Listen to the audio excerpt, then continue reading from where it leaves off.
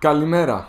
Ονομάζομαι Στέλιος Πανταζής, είμαι γιατρός, είμαι εξειδικευμένος στην ιατρική διατροφολογία και στις διαταραχές του μεταβολισμού και σήμερα θα ήθελα να παρουσιάσω την ιδανική διατροφή για το ζαχαρό διαβήτη μέσα από μια καταπληκτική μελέτη που δημοσιεύθηκε το 2017 και χωρίζει τη διατροφή σε ομάδες τροφών και δείχνει κάθε διατροφική ομάδα πώς επηρεάζει την πιθανότητα να πάθει κάποιο ζαχαρόδι διαβήτη.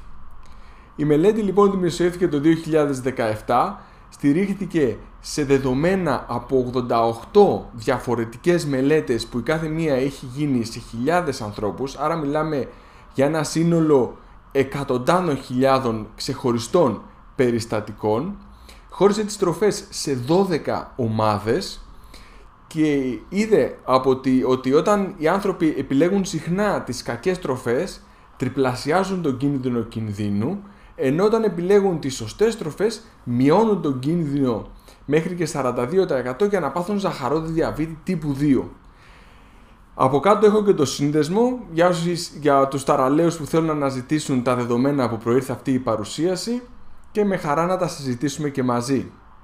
Ξεκινάω λοιπόν να βλέπουμε, να παρουσιάζω μία-μία τις ομάδες οι οποίες ε, μελετήθηκαν θα εξηγώ την κάθε ομάδα και πώς επέδρασε στην πιθανότητα κάποιος να έχει ζαχαρό διαβήτη. Για άμεση κατανόηση των αποτελεσμάτων, όταν η ομάδα είναι πράσινη σημαίνει ότι είναι καλή, όταν η ομάδα είναι κόκκινη σημαίνει ότι δεν είναι καλή. Είναι ομάδα που έχει τροφές που πρέπει να αποφεύγουμε όσο περισσότερο γίνεται. Ξεκινάω από τα μη επεξεργασμένα δημητριακά. Τι σημαίνει με επεξεργασμένα δημητριακά; Βρώμη, σιτάρι, κρυθάρι, σίκαλι, κοινόα και χρή, αμάρανθος, όλα αυτά χωρίς να έχουν αλλοιωθεί έτσι όπως παράγονται, δηλαδή σε μορφή σπόρων ή ελάχιστα επεξεργασμένα, όπως ας πούμε είναι οι νυφάδες βρώμης που είναι η βρώμη η οποία απλά είναι πατικωμένη για να είναι πιο εύκολα απορροφήσιμη. Το κοινόα που το τρώμε σαν το ρύζι, το πληγούρι που επίσης το χρησιμοποιούμε για να συνοδεύουμε κάποια φαγητά, κάποια λαχανικά κτλ. Το καφέ ρύζι, όχι το λευκό, το κεχρί που και αυτό τρώγεται σαν το ρύζι, μπορούμε να φτιάξουμε ωραία γεμιστά με κεχρί, popcorn που επίσης δεν είναι αλλοιωμένο και τα αρτοποιήματα ολικής μόνο όμως όταν η αναλογία φυτικών ινών προς υδατανθράκων είναι 1 προς 5. Αν δεν το γνωρίζετε αυτό πρέπει οπωσδήποτε να τρέξετε στο αντίστοιχο βίντεο να μάθετε γιατί εδώ παίζεται μεγάλο μέρος του παιχνιδιού. Ποια αρτοποιήματα ολικής είναι πραγματικά ολικής. Αυτή η ομάδα τροφών λοιπόν φαίνεται ότι ως επιτοπλίστων είναι ωφέλιμη για την υγεία. Έτσι λοιπόν φαίνεται ότι το 1 πάνω αριστερά είναι, σημαίνει ότι αυτή η τροφή δεν έχει επίδραση ούτε θετική ούτε αρνητική. Όσο πάει κάτω από το 1, 0,9, 0,8, 0,7 σημαίνει το όφελος είναι θετικό και όσο πιο χαμηλά τόσο πιο θετικό. Εδώ πέρα λοιπόν βλέπουμε ότι ε, α, επίσης ο οριζόντιος άξονας έχει τα γραμμάρια, γραμμάρια ανά ημέρα. Έτσι λοιπόν γύρω στα 40 με 60 γραμμάρια ε, μη επεξεργασμένων δημητριακών την ημέρα μας δίνουν το μέγιστο όφελος αν και μέχρι τα 100 γραμμάρια το όφελος αμβλύνεται ελάχιστα. Εδώ βλέπουμε ότι και η ποσότητα παίζει ρόλο, εντάξει, αλλά η αλήθεια είναι ότι τρώγοντας παραπάνω αμβλύνεται πολύ λίγο το όφελος. Άρα μπορούμε να πούμε ότι είναι μια ομάδα τροφών που μπορούμε να τρώμε σχετικά ελεύθερα τα μη επεξεργασμένα δημητριακά και η προστασία είναι μέχρι και 25% δηλαδή περίπου 25% μείωση της εμφάνισης της νόσου.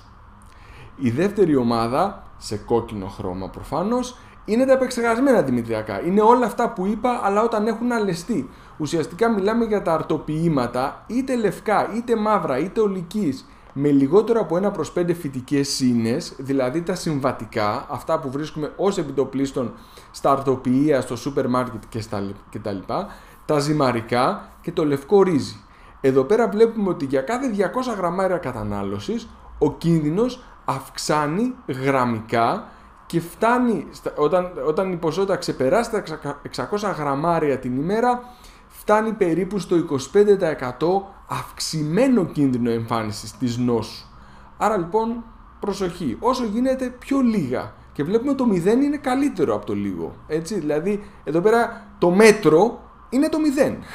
Εντάξει. Γιατί καμιά φορά λέμε μέτρο και δεν ξέρουμε τι εννοούμε. Εδώ ξέρουμε τι εννοούμε. Από το πρώτο γραμμάριο ο κίνδυνος αυξάνεται. Άρα το μέτρο είναι το 0. Εδώ πέρα είναι τα λαχανικά. Εδώ πέρα είναι μια, η αχίλιος πτέρνα της μελέτης. Ομαδοποιεί λαχανικά σε μια ομάδα λαχανικά τα οποία δεν έχουν τις ίδιες ιδιότητες. Δηλαδή δεν μπορούμε να βάλουμε στην ίδια ομάδα το μαρούλι, το σπανάκι και το κέιλ μαζί με την ντομάτα, την πατάτα και το καρότο. Παρ' όλα αυτά, για αυτό κατάφεραν οι ερευνητές να κάνουν. Είναι σεβαστό, είναι, του αξίζει ένα μεγάλο μπράβο, αλλά αυτό δημιουργεί το πρόβλημα της καμπύλης Καταρχάς να δείχνει μικρό όφελος, δηλαδή στην, στο καλύτερο όταν τα λαχανικά είναι στα 250 γραμμάρια περίπου την ημέρα, να δείχνει ένα όφελος της τάξης του 8% που είναι πάρα πολύ λίγο. Φαίνεται δηλαδή ότι τα με επεξεργασμένα δημητριακά είναι πολύ πιο ωφέλιμα από τα λαχανικά. Αλλά δεν ισχύει αυτό. Ε, από ό,τι ξέρουμε από γενικά από άλλες μελέτες ε, και επίσης το όφελος βλέπουμε μετά τα 250 γραμμάρια σιγά σιγά εξανεμίζονται, εξανεμίζονται ώστε όταν φτάνουμε να καταναλώνουμε λαχανικά 600 γραμμάρια το όφελος είναι 3-4% δηλαδή πάρα πολύ μικρό αυτό είναι μία από τις μεγαλύτερες αδυναμίες της μελέτης, ότι ουσιαστικά βάζεις στην ίδια ομάδα λαχανικών το σπανάκι, το κέιλ και τα λοιπά μαζί με την ντομάτα και την πατάτα και τα λοιπά. Εδώ ή βάζει ας πούμε δεν ξεχωρίζει τις πατάτες, τις γλυκοπατάτες από τις παραδοσιακές άσπρες πατάτες που τα θρεπτικά τους ουσιαστικά είναι πολύ διαφορετικά και η επίδραση του σαχαροδιαβήτη είναι πολύ διαφορετική αλλά παρόλα αυτά τα λαχανικά σίγουρα είναι ωφέλιμα και αυτό το ξέραμε και αυτό επιβεβαιώνεται. Συνεχίζουμε στα φρούτα. Στα φρούτα πάλι υπάρχει το αντίστοιχο πρόβλημα. Βλέπουμε δηλαδή ότι μέχρι τα 200-250 γραμμάρια φρούτων το όφελος αγγίζει μέχρι και το 10% προστασία. Παρ' όλα αυτά από εκεί και πέρα σιγά σιγά ε, εξανεμίζεται. Σίγουρα και φτάνοντας ας πούμε τα 600 γραμμάρια το όφελος ξεπερνάει ίσα ίσα το 5%. Αυτό τι σημαίνει; Σημαίνει ότι τρώγοντας παραπάνω φρούτα κάνουμε κακό; Εξαρτάται. Κάποιες φορές ναι, κάποιες φορές όχι. Δεν μπορούμε όμως να πούμε ότι κάνουμε το ίδιο κακό τρώγοντας παραπάνω βατόμουρα με το τρώγοντας παραπάνω καρπούζι που ξέρουμε ας πούμε ότι έχει αυξημένο γλυκαιμικό δίχτυ και γενικά ανεβάζει την ινσουλίνη πολύ περισσότερο. Άρα σε αυτό το σημείο κρατάμε ότι τα φρούτα είναι ωφέλιμα, κρατάμε ότι η υπερβολή σε φρούτα ίσως να μην είναι χρήσιμη, αλλά από εκεί και πέρα και εδώ θέλει λίγο παραπάνω ραφινάρισμα στο τι εννοούμε φρούτα. Προχωράω στην επόμενη ομάδα που είναι και η μόνη ομάδα που εμφανίζει μια διπολική ε, σχέση, δηλαδή η ξηρή καρπή. Η ξηρή καρπή σε μικρές ποσότητες φαίνονται ωφέλιμοι, γι' αυτό λοιπόν βλέπουμε ένα κομμάτι της γραμμής μέχρι τα 20 γραμμάρια την ημέρα στο πράσινο, αλλά από εκεί και πάνω είναι επιβλαβής. Και αυτό βασικά είναι από το λόγο ότι οι ξηροί καρποί έχουν πολλές θερμίδες, ε, μπορούν να παχύνουν σε υπερβολές, αν κάποιος κάνει υπερβολές, οπότε λίγο εδώ η εικόνα δεν είναι ξεκάθαρη. Παρ' όλα αυτά, να πω ότι στη μελέτη οι ερευνητές ξεκαθαρίζουν ότι το αποτέλεσμα για τους ξηρούς καρπούς δεν είναι σίγουρο. Ε, δηλαδή και οι ίδιοι αναρωτιούνται αν εδώ είναι χρήσιμη, κυρίως το γεγονός ότι οι μελέτες ήταν πολύ μικρές. Τα, οι ξηροί καρποί ήταν πολύ συγκεκριμένοι, ήταν τα φυστήκια τα αράπικα περισσότερες, δηλαδή δεν ήταν καλή ξηροί καρποί, τα καρύδια, τα κάσιους, αυτά που ξέρουμε ότι παραδοσιακά ότι είναι πολύ ωφέλιμα για την υγεία ή και τα αμύγδαλα ακόμα. Οπότε ε, αλλά παρόλα αυτά, εμένα μου αρέσει αυτό σαν εικόνα. Δηλαδή, ξύδι καρπή, λίγη είναι καλή, πολύ μάλλον όχι. Οπότε, εγώ το κρατάω. Μου αρέσει δηλαδή, σαν, ε, χωρίς να τα παίρνουμε συμμετρητή για να κολλήσουμε στα 20 γραμμάρια, νομίζω το μήνυμα είναι ξεκάθαρο και ισχυρό. Δηλαδή, ναι, ξύδι καρπή, όχι σε μεγάλες ποσότητες. Ενώ το ίδιο δεν το βλέπουμε στα όσπρια. Εδώ στα όσπρια βλέπουμε ότι όσο αυξάνει η ποσότητα των οσπρίων, τα όσπρια είναι ωφέλιμα σχεδόν από την αρχή, και όσο προχωράει η κατανάλωση, το όφελος μεγαλώνει. Έτσι, στα 200 γραμμάρια όσπρια την ημέρα φτάνουμε ο ένα όφελος 10%. Είναι πολύ πιθανό αυτό να συνεχίζει κι άλλο. Τα αυγά. Τα αυγά, ένα ερώτημα που τώρα τελευταία έχω δεχτεί και πολλά ερωτήματα μέσα από το κανάλι για το πώς είναι ωφέλιμα και αν είναι υπερτροφές κτλ. Ε, στο θέμα του ζαχαρόδι διαβήτη δεν είναι ωφέλιμα. Βλέπουμε ότι το πρώτο γραμμάριο βλέπουμε ότι κάνει κακό, αυξάνει την πιθανότητα εμφάνισης ζαχαρόντου διαβήτη και όσο προχωράει στα 60 γραμμάρια ε, την ημέρα ο κίνδυνος πλησιάζει στο 20% αύξηση της πιθανότητας εμφάνισης ζαχαρόντου διαβήτη που είναι πολύ μεγάλο. Η επόμενη ομάδα είναι τα γαλακτοκομικά, ένα, μια λατρεμένη ομάδα από τους περισσότερους και εδώ δεν διαφοροποιεί γάλα, γιαούρτι, τυρί. Πιστεύω ότι το γιαούρτι είναι ο πρωταθλητής εδώ πέρα, το τυρί ε, ναι μεν αλλά το γάλα έχει τις ιδιαιτερότητες του σχετικά με τις δυσανεξίες και όλα αυτά. Παρ' όλα αυτά είναι μια ομάδα που ξεκάθαρα είναι ωφέλιμη, ξεκάθαρα προστατεύει για το ζαχαρό διαβήτη. Οπότε και αυτόν την κατανάλωση τη θέλουμε και μάλιστα δεν δείχνει μέχρι τα 2.000 γραμμάρια ανά ημέρα. Τώρα φαντάζομαι δεν εννοεί 2 κιλά τυρί να φάει κάποιος. Προφανώς εδώ είναι μια δυναμία της έρευνας που περιλαμβάνει μαζί το γάλα, μαζί το τυρί, που άλλο, άλλο, άλλο είναι 2 λίτρα γάλα, άλλο 2 κιλά τυρί. Τέλος πάντων, η εικόνα όμως είναι ξεκάθαρη. Δηλαδή τα γαλακτοκομικά προστατεύουν έτσι και σε έναν άνθρωπο που δεν θα είχε πρόβλημα για τα γαλακτοκομικά, δεν θα είχε δυσανεξίες, δεν θα είχε τέτοιου τύπου προβλήματα, θα ήθελα γαλακτοκομικά στη διατροφή του γιατί πιστεύω ότι προστατεύουν από το ζαχαρόδι διαβήτη. Η άλλη ομάδα είναι τα ψάρια που για μένα ήταν μια έκπληξη. Ξέρουμε γενικά ότι τα ψάρια ε, προστατεύουν με τα ω3 από την καρδιά. Φαίνεται για το ζαχαρόδι διαβήτη δεν είναι τόσο προστατευτικά, αν και η επίδραση είναι σχεδόν ουδέτερη. Ναι, το βάζω σε κόκκινο πλαίσιο, αλλά η αλήθεια είναι ότι το ποσοστό που αυξάνει την πιθανότητα να πάθει κάποιος είναι της τάξης του 3%.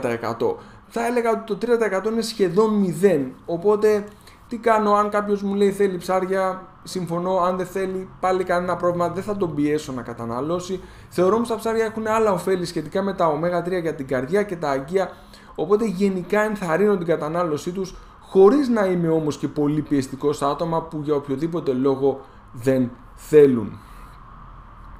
Η άλλη ομάδα τροφών είναι το κόκκινο κρέας. Εδώ πλέον η σχέση είναι γραμμική. Από το πρώτο γραμμάριο ο κίνδυνος αυξάνει κατακόρυφα και στα 200 γραμμάρια την ημέρα ξεπερνάει το 40% αυξημένη πιθανότητα εμφάνισης ε, ζαχαρόδου διαβήτη. Το ποσοστό είναι πολύ μεγάλο, είναι το πρώτο μεγάλο που ακούμε μέχρι τώρα, θα ακολουθήσουν κι άλλα σε λίγο, αλλά όντως είναι πολύ μεγάλο, είναι γραμμικό, γραμμάριο προς γραμμάριο, η αύξηση στον κίνδυνο είναι εντυπωσιακό. Αυτό μπορεί να ε, παραξενεύσει κάποιους που θεωρούν ότι επειδή το κρέας δεν έχει υδατάνθρακες είναι προστατευτικό για το ζάχαρο, ενώ ισχύει ακριβώς το αντίθετο, ε, γιατί όπως έχουμε πει σε προηγούμενο βίντεο η πρωτεΐνη αυξάνει την ινσουλίνη όπως και οι υδατάνθρακες, δηλαδή ε, μια ψητή μπριζόλα χωρίς σάλτσα ανεβάζει την ινσουλίνη όσο ένα πιάτο μακαρόνια και τα δύο λοιπόν δεν τα θέλουμε. Δεν, δεν σας τα λέω για να διαλέξετε, σας τα λέω για να μην διαλέξετε κανένα από τα δύο. Ή σε πολύ μικρές ποσότητες. Παρ' όλα αυτά, βλέπετε ότι ήδη από τα 200 γραμμάρια, δηλαδή δεν μιλάμε για εξωφρενικές ποσότητες.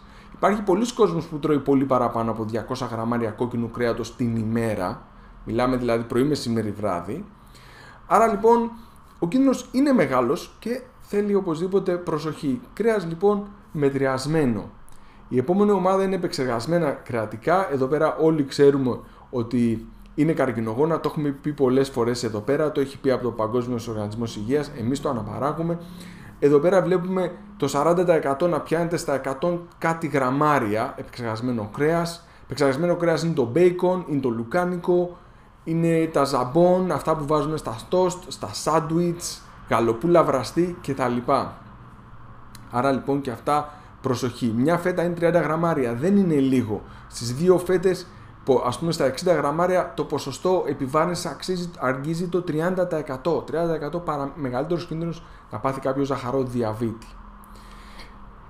Η άλλη ομάδα είναι αυτή που όλοι ξέραμε, έτσι, τα αναψυχτικά, τα ροφήματα με ζάχαρη, αναψυχτικά κυρίως αναφέρουμε εδώ πέρα, αλλά και τσάι με ζάχαρη, το ίδιο πράγμα είναι. Δηλαδή, αν φτιάξουμε σπίτι μας τσάι και βάλουμε δύο κουταλιές στη σούπα ζάχαρης, δεν διαφέρει από ένα αναψυχτικό με ζάχαρη. Και εδώ πέρα σχεδόν γραμμική σχέση. Εδώ πέρα πρώτη φορά δεν λέμε γραμμάρια ανά ημέρα, ανά ημέρα. Μισό λίτρο αναψυχτικό αυξάνει τον κίνδυνο κοντά στο 30%.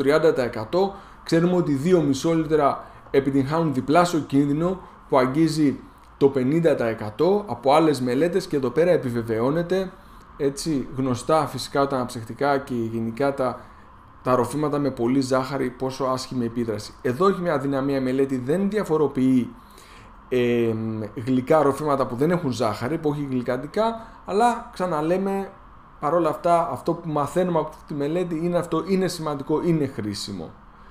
Ε, πάμε λοιπόν να δούμε τα δυνατά σημεία της μελέτης, τελειώσαμε τις 12 ομάδες.